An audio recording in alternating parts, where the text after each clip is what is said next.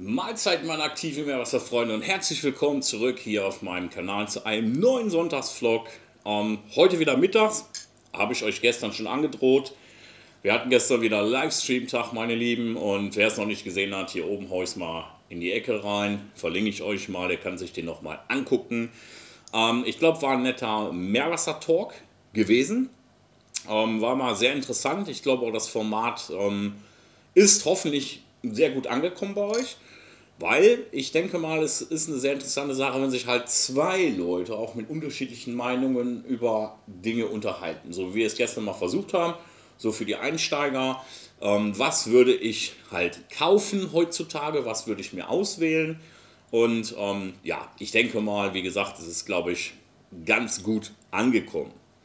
Ja, Freunde, ähm, ich habe mir erstmal hier Beste gemacht. Mmh Lecker Rührei darf nicht fehlen, meine Lieben. Und ich würde sagen, ich weiß, ihr wollt einmal in die Becken reinschauen. Und das machen wir mal. Wir gucken jetzt erstmal, was unser lieber Fridolin so macht. Ja, Freunde, Fridolin der Gute sitzt hier auch schon in der Ecke und wartet auf sein morgendliches Leckerchen. Der kriegt jetzt gleich eine feine, feine Garnele. Ist er nicht ein süßes Kerlchen? Ach, ich finde den so süß. Das Galax Reef kriegt er natürlich auch zu sehen. Ja, ansonsten, Freunde, Kallax Reef ist auch alles kerngesund. Äh, ihr seht, die Zoas wachsen hier alle schon über die, über die Halter drüber, sind alle schön zusammengewachsen. Äh, ich bin mir hier gerade was am Zusammenbasteln, ähm, weil da kommt ja noch das Zoa-Projekt, meine Lieben. Ja, ansonsten auch hier alles. Die Puddingteilchen gehen so langsam auf. Ne? Also der Tim konnte es gestern gar nicht glauben, wie groß die sind. Der hat gesagt, so alter Verwalter, das gibt's doch gar nicht. Ich meine, ihr seht mal, das ist hier unten, seht ihr mal als Vergleich, der, der den hat, den 9004 DC. No, den Tunze-Abschäumer hier. Ähm, da könnt ihr halt mal den Vergleich sehen, unten der Fuß des Tunze-Abschäumers. Ne? Und er ist ja gute 10 cm, ist der breit. Und ja, no, also die Dinger sind hier wirklich so im Durchmesser ja, 40 cm locker. Ja, ansonsten Bauer Wenkis geht es auch hier sehr, sehr gut.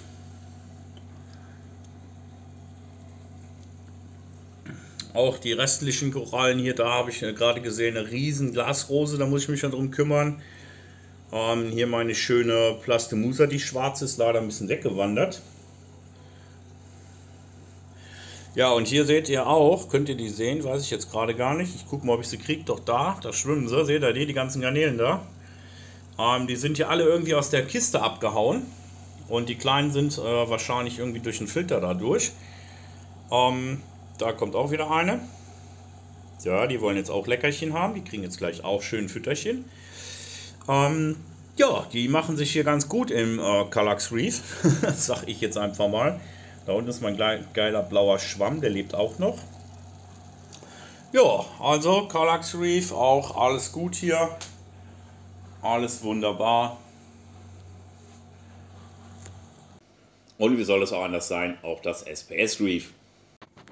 So, soll ja auch nicht fehlen. SPS Reef bekommt ihr natürlich auch noch zu sehen. So, ich habe jetzt mal die ganzen Muscheln hier mal aufgereiht. Ähm, die dicke Mami habe ich da in die Mitte reingelegt. Da fühlt es sich, glaube ich, ganz wohl, weil da kriegt die volle Granate Licht. Ähm, ja, von oben, jetzt wollte ich euch das mal zeigen, ähm, wie schön das von oben und vor allen Dingen die Farbunterschiede der Muscheln, ja, wenn ihr die durchs Glas und halt eben durch die Oberfläche, muss ich mal eben hier die Strömung ausmachen. So, da könnt ihr das mal von oben hier sehen. No, also da haben wir die schöne Gigas, die Derasa. Dann haben wir da die Hippo Hippo. Da seht ihr schön die Hippo Hippo. Da nochmal schön die Derasa. Und da haben wir die gute Gigas. Ja, die Big Mama haben wir hier in der Mitte, habe ich sie jetzt mal reingepackt. Ja, da haben wir wie gesagt die Big Mama. Dann haben wir da noch die ähm, Maxima. Haben wir auch noch eine. Ja, ich werde heute mal gucken, dass ich heute die Neuankömmlinge hier alle noch verbauen werde. So ist heute mein Plan. Ach übrigens, wenn ihr euch noch erinnern könnt, ähm, ich hatte ja den Zoas-Schnipsel, der hing ja irgendwo in einem Seeigel. Ähm, drei Polypen hatte er. Nun hat er fünf. Einer ist jetzt gerade zugegangen ähm, dummerweise, aber ihr seht den ja. Ja, die hat jetzt wie gesagt fünf. Ja, heute ist ja wieder Sonntag. Heute wird hier wieder diese Schmuddelecke weggemacht.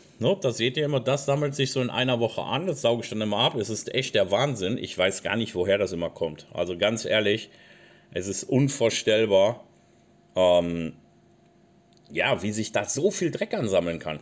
Ich kann mir das echt nahezu gar nicht erklären, wo das Zeug immer herkommt.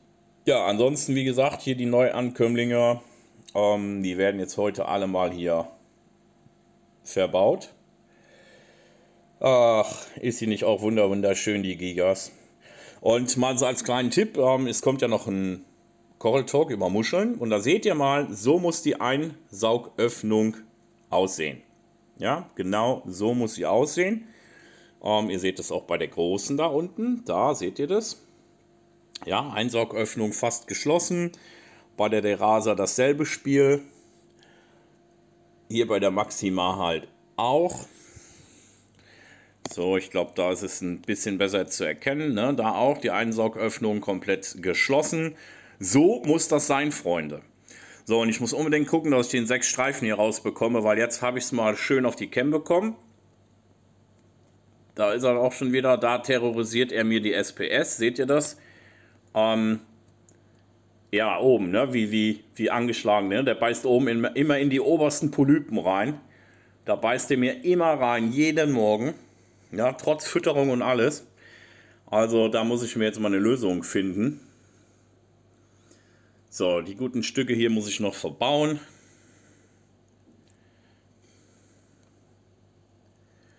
Den muss ich mal ein schönes Plätzchen suchen. Ja. Da ist der kleine Sack hier. Der kleine Sack.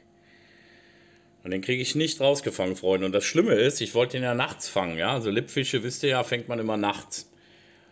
Und ähm, ja, das Ding ist halt eben, ich weiß nicht, wo er pennt. Ich habe bis jetzt seinen Schlafplatz noch nicht finden können.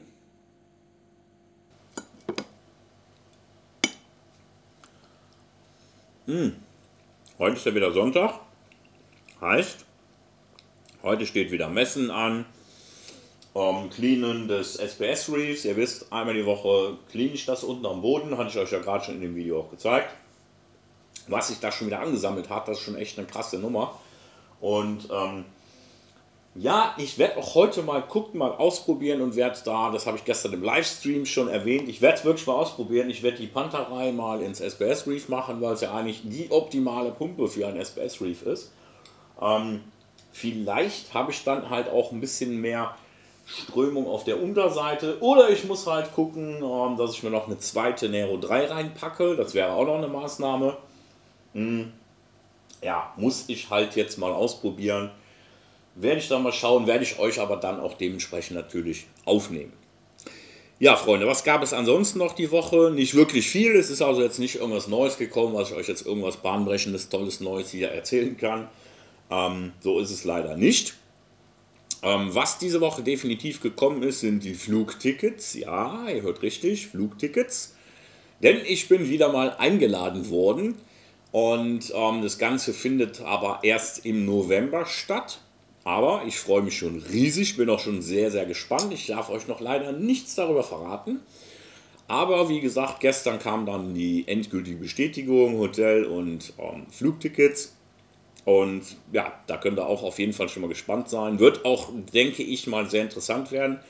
Und ich werde auch halt jetzt schon überlegen, was ich dort vor Ort machen werde für euch. Ähm, weil das wird, wie gesagt, eine sehr interessante Nummer werden. Und ähm, da möchte ich auch ganz gerne für euch vielleicht nochmal ein zusätzliches Video dann drehen, wo man dann halt auch so ein, wo ich dann mal mit einem Hersteller ein QA führen werde und mir da mal so ein paar Sachen erklären lasse, wo ich selber auch halt das Interesse habe, um mal zu schauen, wie funktioniert das alles, wie ist das alles aufgebaut und, und, und. Ähm, da können auf jeden Fall wieder gespannt sein. Ja, Freunde, ich werde mich heute mal wieder hinsetzen und werde mal versuchen, hier weiterzuschneiden. Ich habe echt so viel Material hier liegen ey, und es ist halt echt mega aufwendig. Das kann man sich fast nicht vorstellen. Ähm, ja, 2 Terabyte Material habe ich noch von Tunze. Also da werde ich auf jeden Fall heute weitermachen, damit wir jetzt im Laufe der kommenden Woche halt wieder eine Sneak Peek äh, zu sehen bekommen und halt auch eben den, ich weiß, ihr wartet darauf schon brennend, den zweiten Teil ähm, des Dunstbesuchs. Wird auch, glaube ich, einen dritten geben. Ich bin beim zweiten mit dem Schnitt fast durch und ich habe immer noch so viel Material, wir sind immer noch nicht fertig, ähm, dass ich wahrscheinlich noch einen dritten Teil machen muss, um das halt eben für euch dementsprechend fertig zu machen. So, Freunde, ich werde mich heute mal ein bisschen ausruhen. Ist ja gestern wieder lang geworden. Wie gesagt, gerne hier oben nochmal nachschauen. Wer noch nicht gesehen hat, den Livestream kann sich gerne mal anschauen. Über drei Stunden, Freunde. Ne? Aber wie gesagt, ähm, viele von euch wünschen sich ja immer halt lange Videos. Von daher wäre das optimal für euch. Freunde, ich bedanke mich fürs Zuschauen, dass ihr wieder dabei wart. Ähm, wir sehen uns im nächsten Video. Ich hau mir jetzt erstmal den Kaffee in den Kopf und die gute Smoothie hier mit Spirulina-Algen und das gute Rührei. Und wir sehen uns im nächsten Video, meine Freunde. Ich bin raus. Ich wünsche euch noch einen netten Restsonntag. Bis dahin, euer Marc. Ciao, ciao.